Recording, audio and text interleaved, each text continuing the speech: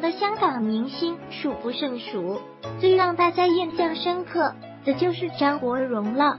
张国荣的事迹在娱乐圈敢称第二，基本上没人敢称第一。张国荣是一个在仪态方面非常完美的男人，虽然当年发生了让我们非常惋惜的事情，但是他依然都活在我们的心中。况且张国荣当年的许多好友，在现在都能算得上是国际巨星了，这就证明了张国荣的人脉非常的好。不知道过了这么久，大家有没有想张国荣呢？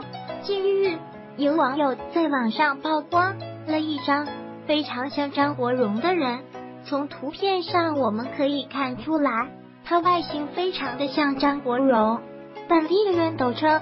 他为公交司机版张国荣，单单从这张图片上来看，他的侧脸与张国荣的轮廓非常像，不禁让很多网友感慨：难道是哥哥回来了吗？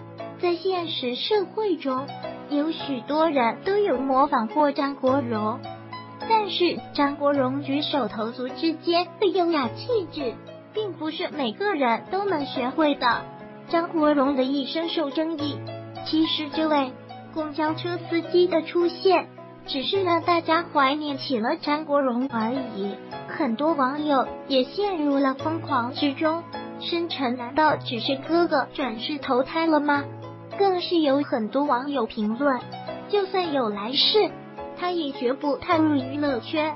主要是这里公交车司机太像他了，除了头发比张国荣稀少。连眼神、抹头发的动作都非常的神似张国荣，但这名司机走红之后，很多人都特意赶去当地，想瞧一瞧这位司机。大家的目的都是一致的，就是想在这位司机身上看到张国荣当年的影子，希望能给大家有一个好的回忆。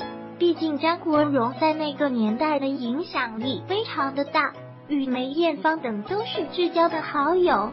如果张国荣还在世的话，今年也应该差不多有六十一岁了。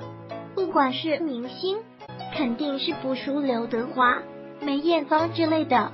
张国荣的是一生过得太苦了。如果有来世，希望你不要再踏入娱乐圈，做一个普通人，可以肆无忌惮的笑，肆无忌惮的哭。